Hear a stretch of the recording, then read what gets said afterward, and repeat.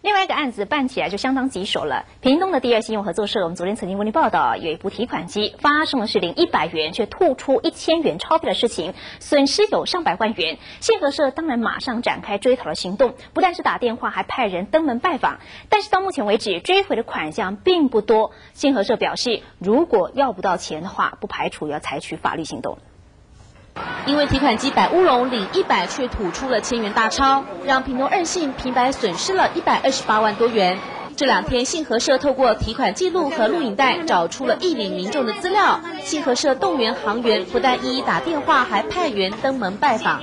就等于说私下跟他们了，让他们了解一下，能够把这些一领的款项能够赶快入到他们我们的账户里面来。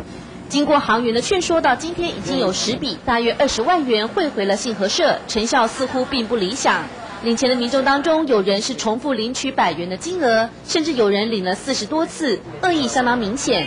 屏东二信表示，民众如果不愿归还，还可能吃上官司。我们有可能说到时候采取法律的途径来跟他诉追这样子。